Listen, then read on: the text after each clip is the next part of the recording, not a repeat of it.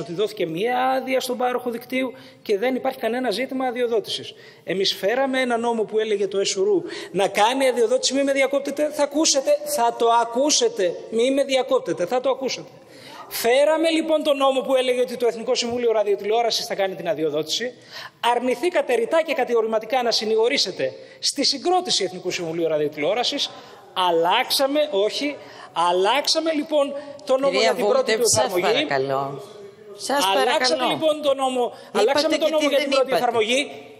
Έγινε ο διαγωνισμός, ο οποίος απέδειξε ότι μπορεί και πρέπει το δημόσιο να πάρει τίμημα. Δυστυχώς, οριακά θα μπορούσαμε να έχουμε ξεμπλέξει πολύ νωρίτερα. Απερίφθη από το Συμβούλιο της Επικρατείας και εμείς κάναμε αυτό που δεν κάνατε εσείς ποτέ. Διότι εμείς με το που βγήκε η απόφαση του Συμβουλίου της Επικρατείας φέραμε αμέσως διάταξη για να αλλάξουμε τη μία μόνη παράγραφο η οποία κρίθηκε βεβαίως η διοικητική πράξη που απορρέει από αυτή αντισυνταγματική. Εσείς τι κάνατε 30 χρόνια. Που επανειλημμένες αποφάσεις του Συμβουλίου της Επικρατείας λέγανε ότι πρέπει να υπάρξουν τηλεοπτικές άδειες. Τίποτα δεν κάνατε.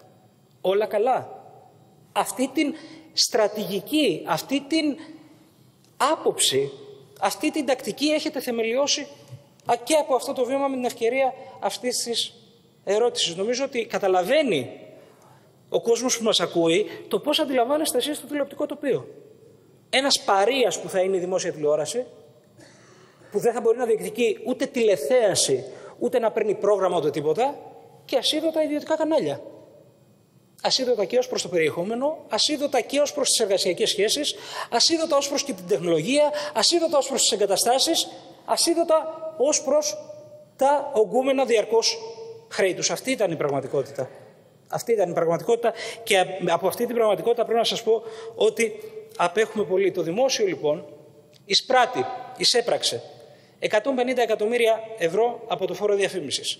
Εισέπραξε χρήματα από τα τέλη χρήσης συγχρονιτήτων. Δεν τα εισπράτατε, ούτε το ένα ούτε το άλλο. Θα εισπράξει 170 εκατομμύρια ευρώ από τις άδειες και άλλα 125 επίσης από το φόρο διαφήμισης.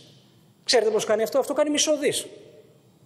Ξέρετε τι έγραφαν οι αιτιολογικές εκθέσεις των κατάπτυστων τροπολογιών που έφερνε ο κύριος Τουρνάρας με τον κύριο Κεδίκογλου και παρέτεινε την εφαρμογή ίσπραξης του φόρου διαφήμισης κάθε 31 Δεκάτου ότι θα βρεθούν λέει αυτά τα έσοδα από άλλες πηγές γιατί βεβαίως θα υπάρξει κόστος για το δημόσιο. Προφανώς άλλες πηγές. Εφόσον υπάρχουν οι μισθωτοί και οι συνταξιούχοι γιατί να ταλαιπωρούμε τις ιδιοκτησίες των καναλιών. Μισό δις λοιπόν για το ελληνικό δημόσιο. Η ΕΡΤ λοιπόν, θα το επαναλάβω, μπορεί να σας ενοχλεί, είναι στην καλύτερη της φάση από τότε που άνοιξε. Άνοιξε με χίλια προβλήματα, άνοιξε χωρίς χρήματα. Έχει 2.600, μου λέτε ψέματα, 5.500 είχε επί δικό σας ημέρων. Μη βιάζεστε, μη βιάζεστε. Πρέπει να σκεφτόμαστε πριν ανοίξουμε το στόμα μας και να μην λέτε ψέματα. Η ΕΡΤ λοιπόν είναι στην καλύτερη της φάση. Πήγε περίπατο και η, η κριτική σας. Όταν την ανοίξαμε, μας λέγατε ότι δεν είναι βιώσιμη, δεν βγαίνει ο λογαριασμός. Όχι μόνο βγήκε ο λογαριασμός, και εντός μνημονίου, προσέξτε, διότι η ΕΡΤ αυτή τη στιγμή κάνει σημαντικά βήματα για έναν πάρα πολύ συγκεκριμένο λόγο, διότι βγήκαμε από τα μνημόνια. Τι σήμαινε για την ΕΡΤ το καθεστώς του μνημονίου, ότι 60 με 70 εκατομμύρια το χρόνο, το λέω να το ακούσει ο λαός, από το ανταποδοτικό τέλος πήγαιναν στον κρατικό κορβανά. Τώρα μειώνεται αυτή η υποχρέωση της ΕΡΤ και έχει τη δυνατότητα να κάνει πάρα πολύ σοβαρά πράγματα. Και πρόγραμμα να πάρει και αθλητισμό να πάρει και τον αθλητισμό να στηρίξει, διότι σας ακούμε εδώ πέρα, ανεβαίνετε και λέτε δεν είπατε τι θα κάνετε. Είπατε, λέ, ε, μία, μόνο νομίζω η κυρία Σιμακοπούλου έκανε μια αναφορά σε κάτι που είχε πει ο κύριος Μητσοτάκης, ο οποίος λέει θα μειώσει το ανταποδοτικό τέλος στο 1,5 ευρώ, μάλιστα.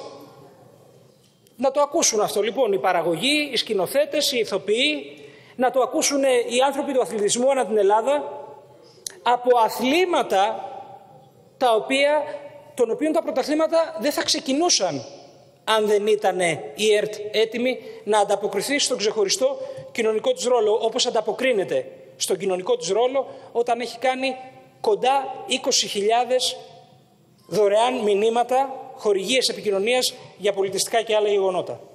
Αυτά